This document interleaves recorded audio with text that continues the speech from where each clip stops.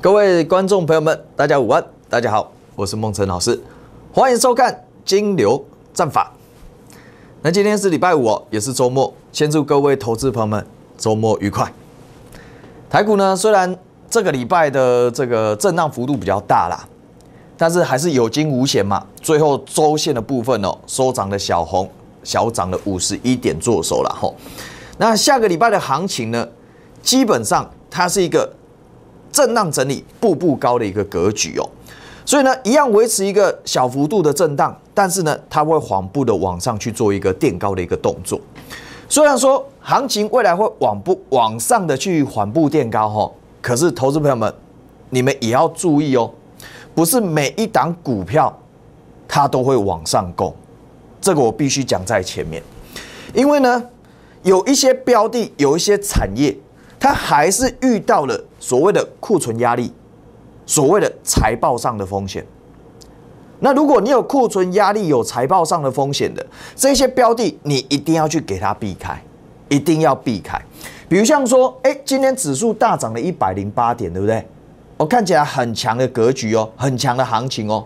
可是呢，像热门股三零三七的星星啊，今天续跌嘛，昨天打到跌停板，今天再跌了两帕。甚至呢，二线的晶圆厂，我这个讲多久了？有没有？六七七零的这个利基电，我说。二线晶圆厂晶片法案通过之后，它的压力会更大。啊，昨天晶片法案通过了嘛？今天利基电就怎样跌了七趴。如果你买这样子的股票，你会完全没有上涨百点的那种感觉，对不对？这就是一个问题嘛。就是说，这一些标的确实产业上面它遇到了一些状况，但是这一些状况它不是一天两天。它可以完成的，它就可以处理完毕的。所以类似这样的标的，你一定要懂得去把它避掉。你知道避掉风险，你才有怎样享受获利的一个机会嘛。所以不只是他们哦，这个礼拜有很多的资讯公布出来哦，包括 MCU 的部分，对不对？MCU 告诉你说，哎，这个圣群啊、汉讯都告诉你说，我的库存压力爆表了。那居然他们都已经告诉你，他现在库存满满。那你股价涨上来嘞，你要跟造啊！你要赶快跑啊！比如像说六五一零的汉六一五零的汉讯有没有？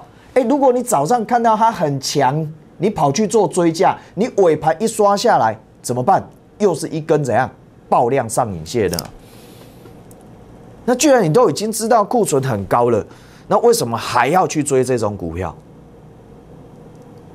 所以每一些每一档股票，它所表现的，它所呈现出来的产业面都是不相同的嘛。好的公司，我们呢低阶没有问题，可是呢有一些标的真的它的产业还是有问题的，我们一样要闪开嘛。包括二四零九的友达，这个这个你想想看哦，今天还在破底哦。那面板呢？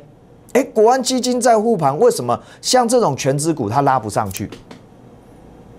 简单来讲嘛，我现在呢，我的产业还没有出现反转啊，那我面板还在大量的供给跟需求失出出现失衡的状态，那我的价格还在跌，你说我的股价呢，怎么会有起色？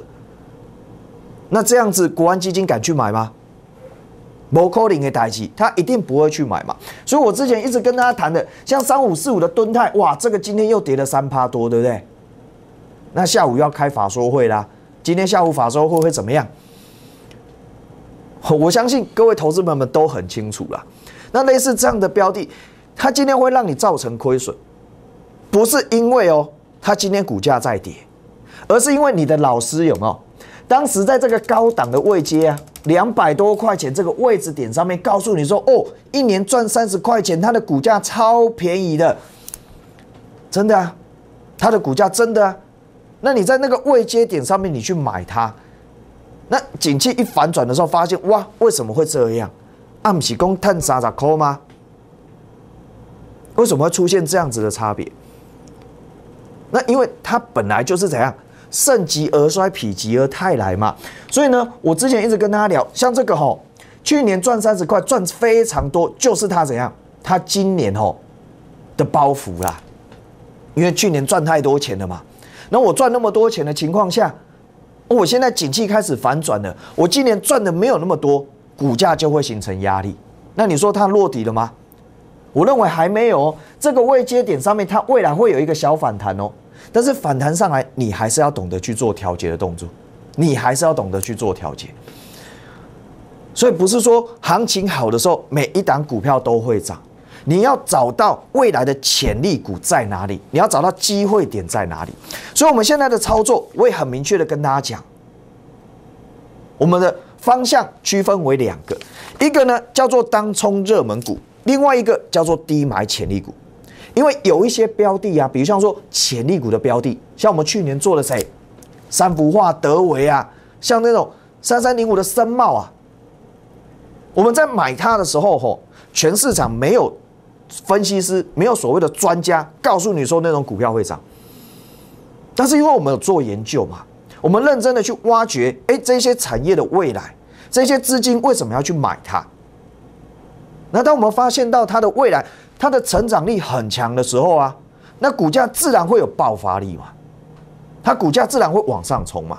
所以同样的时间点哦，当你的老师在叫你买吨泰的时候，有没有在这个位阶点上面买吨泰，对不对？那我们在做什么？我们在做这个啊，四七五五的三幅画。同样一个时间点，大家最看不起的三幅画，有没有让你大赚？但是呢，大家最热门的什么？大家最热门的吨泰呢，反而让你大赔吧。所以这就是行情，它会出现转变啊。新的股票呢，它在你不知道的地方，那你不知道你要怎么挖出来？你要有公式，要有方法。我们在做三幅画的时候，也没有人告诉你三幅画会涨，但是因为我们有金牛战法，所以我们把它挖掘出来嘛。这就是所谓低买潜力股的威力啊。那你现在除了低买潜力股以外，还有一些热门股，我们可以利用当中的方式把价差给取出来。那这些操作都要有一个规则，要有公式，要有方法，而不是用猜的嘛。所以我说，在评估任何一个行情都是非常非常重要的。你的老师如果每天都是拿涨停板来秀给你看，每天告诉你说哦，这个股票涨停哦，然后呢上面贴的什么？贴的那种便利贴，下面再加立可白的。如果你相信这种话，那你去找他我没有关系。但是如果说你真的希望说找到一个可以帮助你的人，那你一定要了解他的操作模式在哪边嘛。所以当时啊，当全市场一片悲观，大家都在骂，有没有？骂说：“哦，台积电好烂呐！台积电六百八十八块钱跌到四百三十三块钱，买这种股票的人真的是赔死活该，对不对？你有没有听到当时大家都是这样讲的？但是我说你骂台积电干什么？我说台积电它来到这个位阶有没有？这个叫做极度悲观，好吗？那你来到极度悲观的位置，你在骂他。”你把它卖掉了，我告诉你，你未来买不回来呢。我们简单来说就好啦，你不要说你卖在四百三十三了，你卖在四百五十块、六十块，好不好？那你今天呢？台积电呢？台积电今天涨到五百一啦，对不对？我说它还有空间呢。那你不管你卖在任何一个地方，你买不回来啊。我现在跟你讲说，哎，台积电还会再涨哦，那你要去追吗？追不下手了，因为你你会想到我当时卖的位置在哪里，在四百五十块，在四百六啊。那我现在涨到五百一，你叫我卖比较贵回来，那我 calling 的代机对不？大家会有这种想法吗？那这种好公司、好股票，我讲实在的，如果台积电今天都不行了，你买联电对吗？你买利基电对吗？你今天回过头去看。好啦，今天台积电涨到五百一十块钱，你的联电剩多少？它有涨吗？那为什么六七七零利基电今天还在破底创新低？同样都是晶圆代工啊，赶快的米家都不敢在乎。我同样都是都是卖牛肉面的，台积电做的牛肉面比较好吃嘛。那你今天遇到景气衰退，大家库存那么高的情况下？你想想看啊，我的客户会找谁来做？一定找最好的，一定找台积电啊！所以当台积电都不行了，你其他的厂商会更惨，绝对更惨。那你更不用讲说 IC 设计，更不用讲其他的股票了。所以我说，台积电来到这个位阶，你从技术面的角度来看，股价创新低，指标没有创新低，这边不就是买点，它不是卖点吗？那当时我跟大家谈的时候，每一个人都觉得闹 calling，对不？每一个人都觉得不可能嘛。但是你回过头去看，哎，那就是在这个位置啊，对不对？那你现在回过头去看，你卖在这个位阶点上面的，欲哭无泪，因为买不回来啦。你知道它是好公司，可是你买不回来。所以什么都没有改变，变的只是心而已嘛。当你知道一家公司它的好，当你知道它未来有具备潜力，那你自然不会因为它的股价感到恐慌、感到害怕。所以我说台积电它未来的爆发性很强啊！爆发性在哪里？在这个位置啊，对不对？日本人特地来台湾观察台湾的晶圆代工，因为现在台湾在建设什么？有史以来人类最大的投资。四兆元的台币在建设新的产能，而且这些产能啊，都是台积电客户给的。苹果出钱，Intel 出钱，AMD 出钱。当他出钱，然后呢，台积电去做建厂的动作，那你想想看呢？就整个整个产业来讲，有哪一家公司有这种本事的？摩啊嘛，对不对？所以我说买这个绝对比你买敦泰好啊。那绝对比你买其他的股票还要来得更好吧？绝对比买利基电好，比买联电来得更好啊！所以有没有看到未来？这个是真的要花时间去做研究、去做分析的嘛？所以同样的，我就说台积电的相关供应链也是如此嘛。既然台积电会成长，那你相关供应链呢？我们先来看几家公司就好了。三六八零的嘉登，哇，今天创新高来到两百六十一耶。那我说嘉登会涨，他的子公司是谁？迅德啊。这个迅德也是一样啊，当时破底背离的时候，也是很多人在讲，然后说金融股票违背啊。但我就讲嘛，一年赚十块钱的公司，今年会赚十二块钱，它又是台积电的设备厂商，那这种股票你跌下来，你应该要感到开心哎，因为我可以买到更便宜啊，是不是？可是，在那种气氛，在那种氛围底下，我叫你买股票，你会怕。很正常，我相信这都每个人都会发生的事情。但是你一旦错过了，我也没办法帮你把机会拉回来嘛，对不对？所以我说，接下来你要看的就是这个啊，从这个位阶点上面开始做反弹。哎，你不要觉得它这样涨完哦，均线开始翻阳向上哦，那我加灯都上来了，那迅德未来的机会呢？当然很大啊，所以除了迅德以外，包括上品，这都是台积电的相关工业，这也是你要去留意的方向嘛。包括这一档六叉叉五为污染防治设备的厂商，甚至呢再生晶圆厂的星云，都有大量的资金偷偷在买。那他们为什么要去买？所谓合适啊？是不是有人已经看到它的未来了？是不是有人知道说，其实半导体没有大家所想象的那么糟糕？那如果说，哎，台积电它未来可以带着这些厂商一起往上去做成长的时候，那你不就是应该要逢低来去做布局吗？所以这些标的，我讲实在的啦，他们都还有很大的空间。但是这些个股，你或许不是很了解，你真的对它不是很熟悉，那就很像你当年不熟悉三幅画一样嘛。但是你不熟悉的股票会让你赚钱吗？但是你熟悉的嘞，你熟悉的敦泰，熟悉的所谓的这些三零三四的联勇有没有？也是赚很多钱的股票，那真的有让你赚到钱吗？这就是问题嘛。越不晓得的股票，你越不晓得的，大家越不知道的股票，它潜力越强。当它的潜力越强，它的爆发力就越大。但是你要有公式，要有方法啊，所以我都用金牛战法帮大家挖宝潜力股。那这些潜力股呢？一旦爆发起来，它会轻看两倍掉。那你要在它低档的时候下去做切入，否则你说三幅画涨到两百多块钱了，我们都已经出清了，才有老师在跟你讲嘛？那不就是又犯了跟谁一样的错？跟敦泰一样的错啊！所以你现在要做的，其实就这十个字而已：当中热门股，低买潜力股。如果你不晓得怎么操作，广告时间，拨通电话，我们先进广告。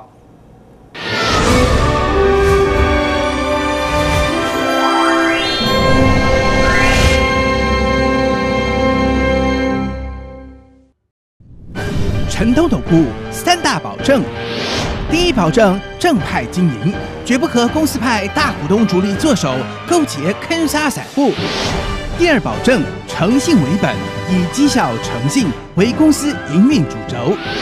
第三保证带进一定带出，精选持股，持股集中，保证带进一定带出。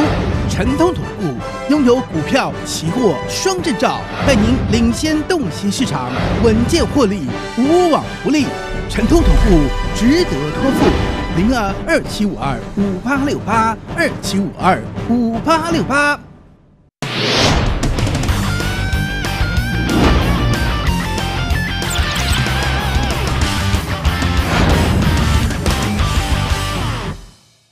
大家好，欢迎回到金牛战法的节目现场，我是孟晨。那在我们底影片的下方哈，有一些有个留言的这个表单呐哈，你有股票上的问题，都欢迎你在下方影片下方的表单当中留下你的问题哦。那我们刚刚跟大家聊的就是说，有一些潜力股的一个机会，但是这些潜力股或许你对它不是很熟悉。但是这些潜力股一旦开始爆发的时候，它的空间会是非常大的，它是它的爆发力道会是非常强的。但是同样的啊，你说有没有一些热门股可以拿来去做操作？当然也是有。可是这些热门股呢，你必要了解哦，它的节奏变化很快，它的 tempo 很快，所以你在操作上面不能用低买潜力股的同样的模式下去做操作。那我们在做这些热门股的时候，其实我们用当冲的方式来去做交易啊，当冲的方式来去做交易。可是我们在做交易的时候，我们一定有一个原则跟方法。当时我就会跟我的投资朋友们沟通嘛，这些当冲交易，你不要觉得当中没有风险，当中一定都有风险，任何的操作一定都会有。那你怎么控制风险？你就要用这三个原则：第一个，预设停损停利的区间；第二，尾盘不留仓，第三大赚小赔，而且你要稳健的操作。当你可以做到这三点，我相信你用短冲交易，你可以在股票市场里面取得长期而且稳健的报酬率。因为你明白嘛，操作的原则就是这样啊。其实技巧那是看个人每一个人他的操作的，比如像说用指标或者是用均线法则都可以。但是你一定要把原则先做清楚。当你把原则做清楚的时候，你在操作上面才不会乱。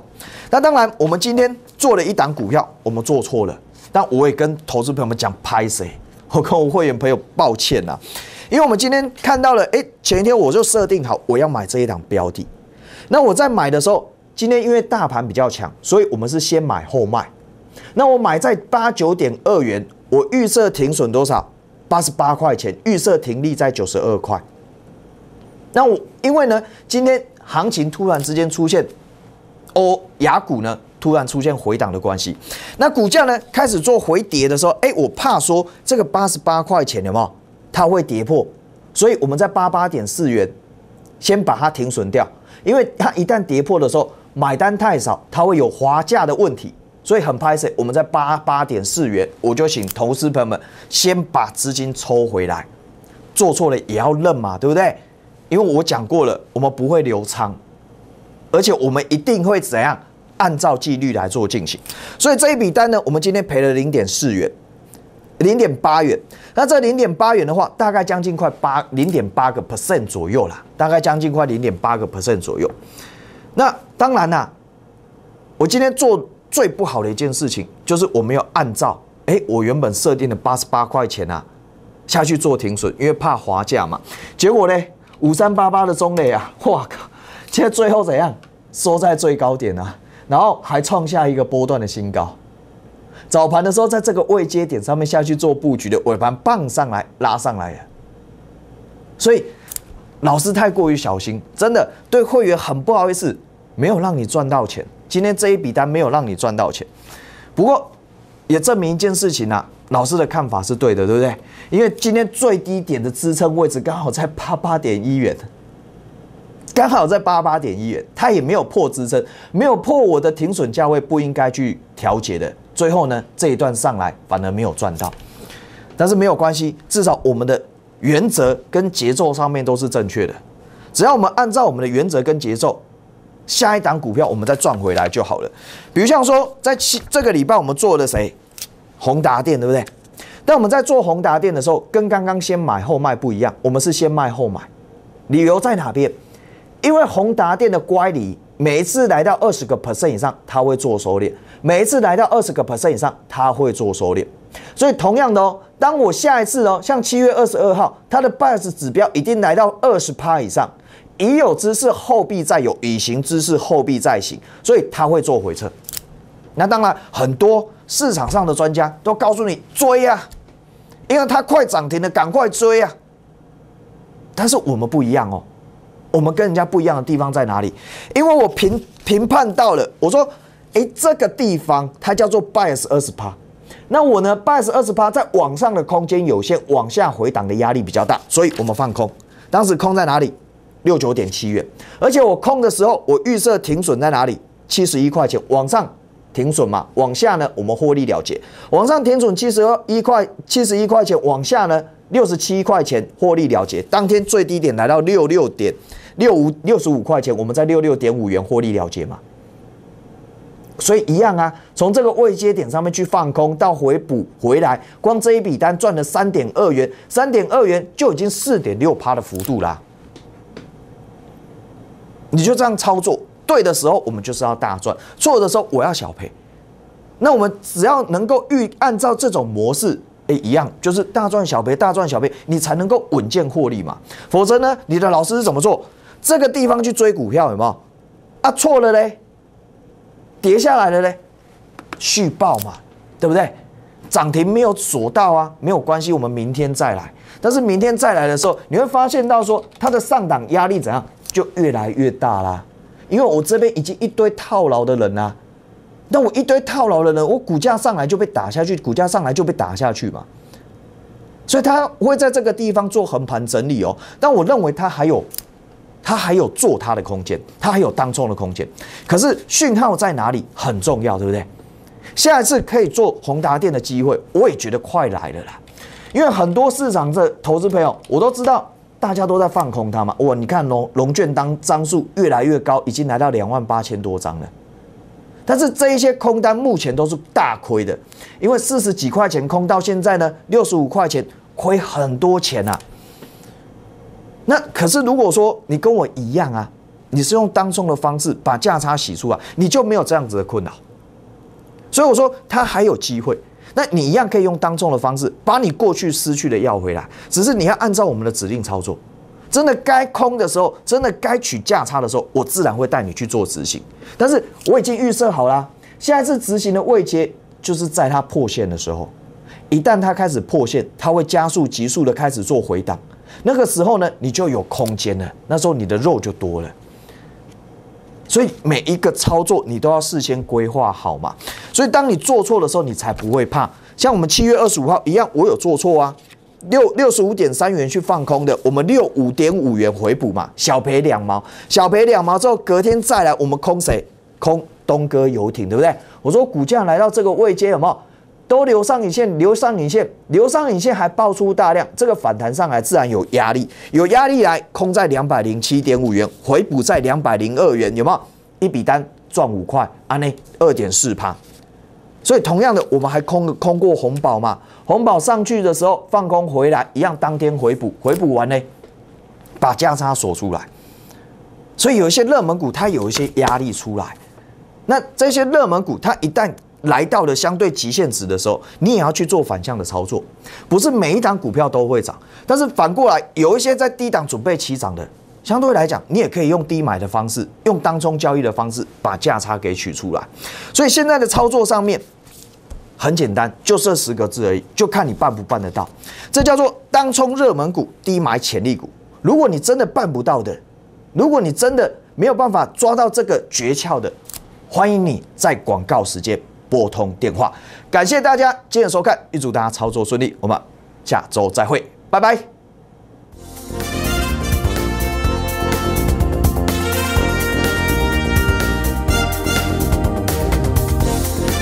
本服务公司与所推荐分期之客也有大证券无不当之财务利益关系，以往之绩效不保证未来获利。本节目资料仅供参考，投资人应独立判断、审慎评估并自负投资风险。